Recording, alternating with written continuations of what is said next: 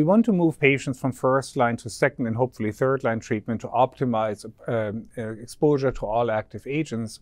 The choice of second line therapy depends on what we did in first line. For instance, if we start with FOLFOX-based therapy, we normally go to a FOLFIRI-based treatment in second-line treatment, or vice versa. And if we start with start with bevacizumab, based on the fact that we had a RAS mutant or right-sided cancer, we normally, I think, best data is continuing a VEGF inhibition beyond progression, and not necessarily even using an EGF receptor antibody in second line, unless there is a need for, let's say, a higher response rate that we can achieve when we add um, panitumumab, for instance, to an irinotecan-based regimen. Now, then, of course, the experience that patients had with in terms of toxicities in frontline treatment plays a role. Um, we would, for instance, not re-expose patients to oxaliplatin-based therapy after maintenance period if patients had a neurotoxicity or perhaps even persistent neurotoxicity after prior adjuvant therapy. How did they tolerate the fluoropyrimidine that they had likely had in their uh, in their treatment? Um, so these factors play a role in, so, into the selection of um, the uh, chemotherapy and biologic agents. Now, then there are emerging data regarding especially BRAF V600E mutant tumors, which are about 8 to 10% of patients with metastatic disease.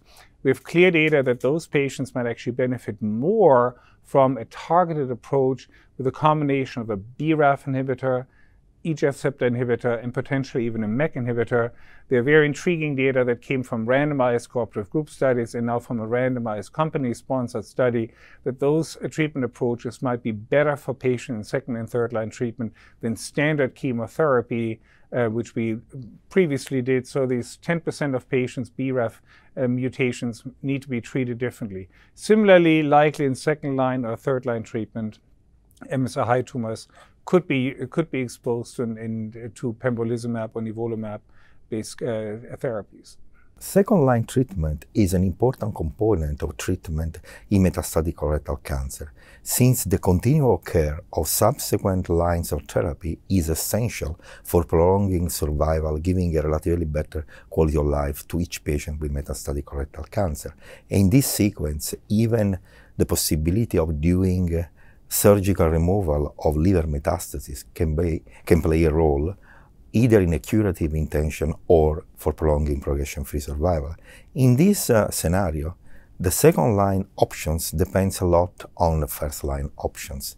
Usually in terms of chemotherapy backbone, usually patients that in first line are treated with FOLFIRI receive in second line FOLFOX. So from irinotecan to oxaliplatin, whereas the reverse is the situation when first line is FOLFOX and followed by FOLFIRI. In terms of biologic agents, in patients whose disease is RAS mutant, obviously we cannot use anti-EGFR drugs, and usually in second line, the strategy is sequencing chemotherapy by switching irinotecan to oxaliplatin or vice versa, and keeping anti-angiogenic drugs, either continuing bevacizumab in progression or uh, replacing bevacizumab with other anti-angiogenic drugs such as aflibercept or ramucirumab, although the data with ramucirumab and aflibercept are only with FOLFIRI, and therefore we can use this option for second line only if we did FOLFOX oxalox in first line. For patients with RAS, RAF wild-type disease, in which in first line we use the chemotherapy backbone plus bevacizumab, in second line usually uh, patients have two options, either to continue bevacizumab before, beyond progression by continuing this in combination with alternative chemotherapy, or, and this happens more often in, uh, in several countries, to switch to the alternate chemotherapy plus an anti-EGFR monoclonal, either cetuximab or panitumumab. Since we think about our patients um, treatment options as, on, uh, as a, as a long-term plan, not a short-term plan. So the way I think about it is I want to take those patients through a marathon rather than through a sprint where I exhaust options and exhaust the patients too. And then, you know, lose uh, the capacity to continue building up uh, options for them. Um, so whatever we do in the first line is important and is not and should not be disconnected from our line of thinking about what should be done in the second, third, or fourth line. If we have a, a right-sided tumor and you use VEGF, so bevacizumab in the first line, typically in the second line, you will switch the chemo and you would go to bevacizumab. On the left-sided, uh, with the left-sided tumor, that's again RAS wild type, BRAF wild type, HER2 non-amplified, and assuming again microsatellite stable. For that, for that patient, uh, if we went with a EGFR inhibitor in the first line, then naturally we'll progress to a VEGF inhibitor, bevacizumab, in the second line.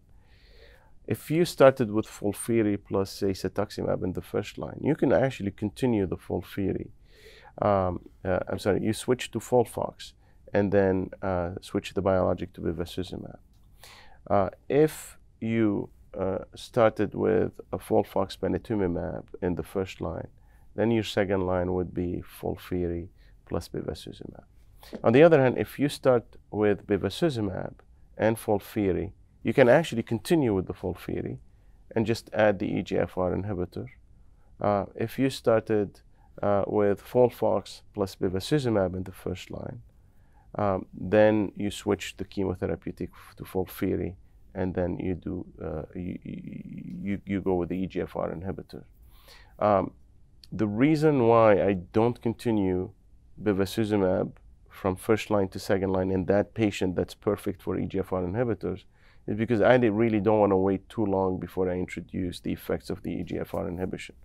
Now, some may argue that since EGFRs or EGFR inhibitors keep their activity across lines of therapy, regardless of line of therapy, then perhaps you could still push it further down. I think you know some the data from CALGB 80405 and FIRE3 are intriguing enough to actually convince me that I cannot wait beyond second line to use an EGFR inhibitor, and I prefer not to uh, in terms of planning for overall survival. For most of my patients, though, the first line, preferred first line remains chemotherapy plus bevacizumab. So, and, and usually FOLFIRI plus bevacizumab because I like to keep that backbone and then introduce the EGFR inhibitor in the second line.